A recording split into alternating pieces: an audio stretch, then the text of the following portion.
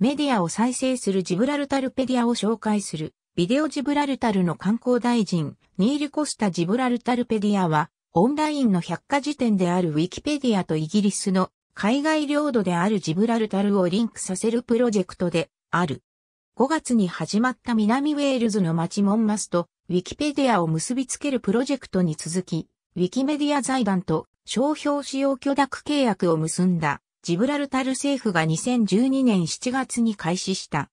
2012年9月にこのプロジェクトにおけるジブラルタル観光局の役割をめぐって広く議論が戦わされ、観光局が商業的な関心を高めるためにプロジェクトを利用していたか、ジブラルタル政府とウィキメディアイギリスの理事との間で、有給のコンサルタント契約が交わされたことにより、利害の衝突が起こったかが論点となった。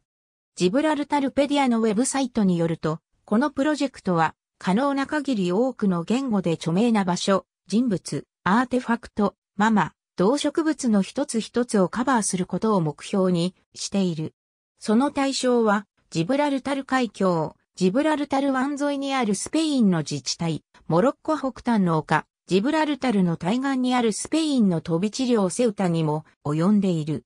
ウィキプロジェクトの一つとして組織化され、ボランティアの編集者、ジブラルタル政府、ジブラルタル観光局、ジブラルタル博物館、ロジャー・バムキンらのコラボレーションが実現した。2012年7月にウィキメディアイギリスとジブラルタル政府がジブラルタルペディアプロジェクトを指導させた。大元となるアイデアはウィキペディアに記事を投稿していたジブラルタル人タイソン・ディ・ホームズが思いついたものである。モンマスペディアに触れたホームズは同じようなプロジェクトはジブラルタルにとっても有益だと考えたのだ。ホームズはジブラルタル博物館のスチュワート・フィンレイソンに連絡を取り、今度はフィンレイソンがウィキメディアイギリスの代表とコンタクトを取った。この計画を検討するためにモンマスペディアの主催者もジブラルタルに招待された。ジブラルタル政府はこのプロジェクトが観光を促進する手段になると考えており、実際にジブラルタル観光局がこのプロジェクトの成立に大きな役割を果たした。観光省であるニール・コスタは、ウェールズの新聞社に、我々は政府として機会が訪れたならそれを逃すことのない、打てば響くような存在でなければならないと常に主張してきましたと語っている。コスタは、ウィキペディア側の人間のためジブラルタルで、競技の場を設け、ジブラルタル博物館のスタッフによる史跡のツアーも開催した。政府ははじめ、内心ジブラルタルにそれほど関心がなく、不正確であったりネガティブな記事を書くウィキペディア、編集者の存在を懸念していた。この不安が和らいだのには、伝えられるところによると、ウィキメディアイギリスの現地があったという。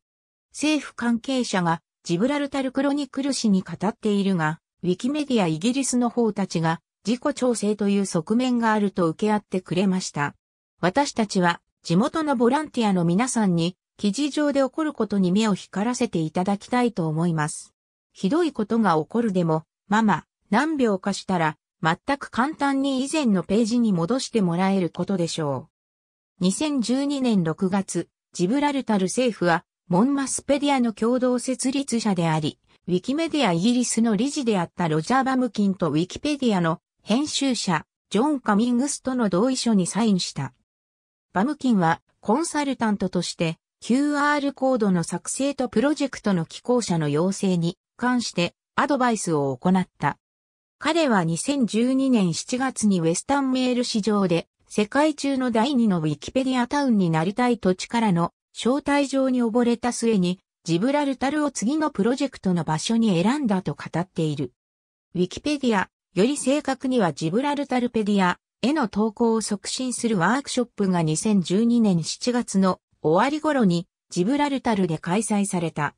ジブラルタルペディアのコーディネーターとなったタイソン・リー・ホームズはプロジェクトがみんなが何よりも時代ごとの歴史や有名な建物、人物伝のページを編集することに興味を持ってもらうことを目指しているとジブラルタル放送協会に対して語っている。試験的に設置された QR コードを読み取るタイソン・リー・ホームズこのプロジェクトはジブラルタル中の有名な事物をカバーするウィキペディアの記事にスマートフォンから多言語でアクセスできるように QR ペディアの QR コードを使用する予定である。実現した場合は観光客が QR コードを読むスマートフォンに設定された言語でウィキペディアの記事を検索することができる。プロジェクトはジブラルタルの重要な建物に QR コードのついた飾り板を設置することも計画している。ロジャー・バムキンはこのシステムを観光客が携帯で QR コードにタップできるタップテクノロジーと呼んでいる。2012年9月18日、BBC ニュースがジブラルタルペディアに関する報道を行った。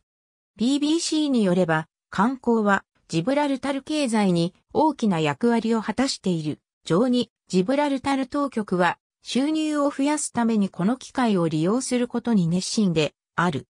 またボランティアが様々な言語版で1日に20もの記事を生み出しており、ロジャー・バムキンはジブラルタルで何週間にもわたって、この地域の歴史に関する写真や地図、情報を投稿する人をさらに探している。ロジャー・バムキン2012年9月18日には C ネットによってバムキンがウィキペディアのメインページに掲載される新着記事やそれ以外のウィキペディアのリソースを使ってクライアントのプロジェクトの宣伝を行っているようだと報道された。FOX ニュースはジブラルタルがウィキペディア上で水煙の的であるメインページの新着記事コーナーに8月だけで18回も特集されている人も羨む月8億ページビューという数字をジブラルタルが利用できたと報じた。また、バムキンが報酬を受けて、ジブラルタル政府とコンサルタント契約を結んでいたことも激しい議論の対象となり、結果として、ルモンド氏をはじめ多くのメディアで批判の対象となった。スレートマガジンは報道各社の懸念を次のようにまとめている。誰が見ても遊ぶなら払う型のプラットフォームとなったら、ウィキペディアはもはや中立的で普遍的な情報の源泉でなくなるだろう。つまり、全く別物であり、特に抜け目ないブランドがカモフラージュした広告を載せる商業ウェブサイトと同じになる。ずる賢い企業であれば、どこでも広報が上辺だけは魅力的な商品の事実を並べて宣伝することができるようになるだろう。もし新着記事のページが急にギャップやマーズバーに関するトリビアで独占されたならば、読者の多くはすぐに気な臭いと感じるだろうが、それと悟られないようにブランドや主張を表現することのできる PR のプロはいくらでもいるのである。ブランドチャンネルは、この論争を報じるとともに、ウィキペディアの編集者への金銭の支払いが、今日まで築き上げたウィキペディアというブランドへの重大な脅威になると報じている。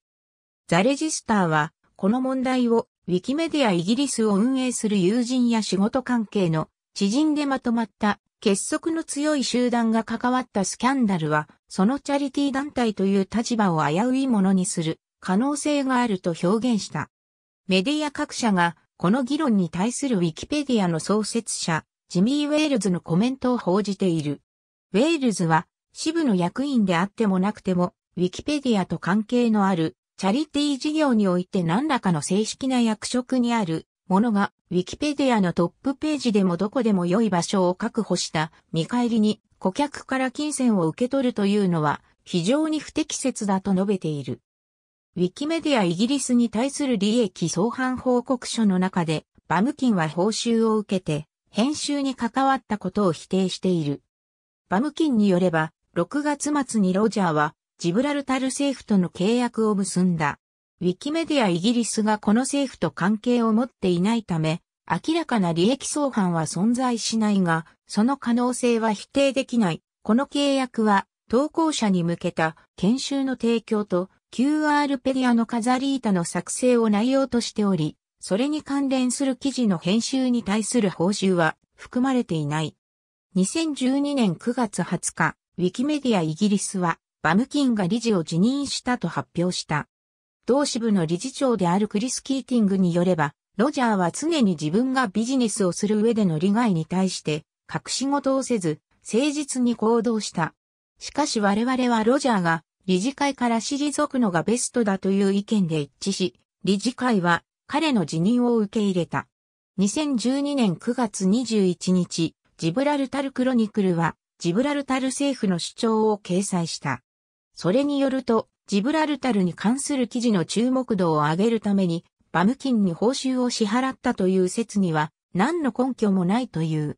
政府は、バムキンがジブラルタルのウィキペディアに投稿するボランティアの利用者のための研修と QR コードの作成に関するアドバイスを続けているとも述べている。クロニクル氏は政府がジブラルタル独自のウィキペディアを持つことを目指しており、バムキンが自分たちのウィキペディアを発展させるため大きな役割を果たす人物であると考えているとも報じている。やはり2012年9月21日にはウィキメディアイギリスがジブラルタルペディアとは何ら正式な関係にないというプレスリリースを出している。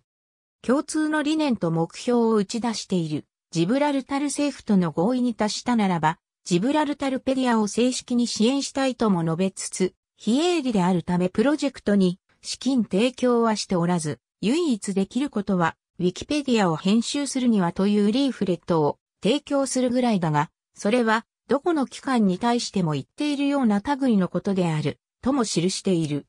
ありがとうございます。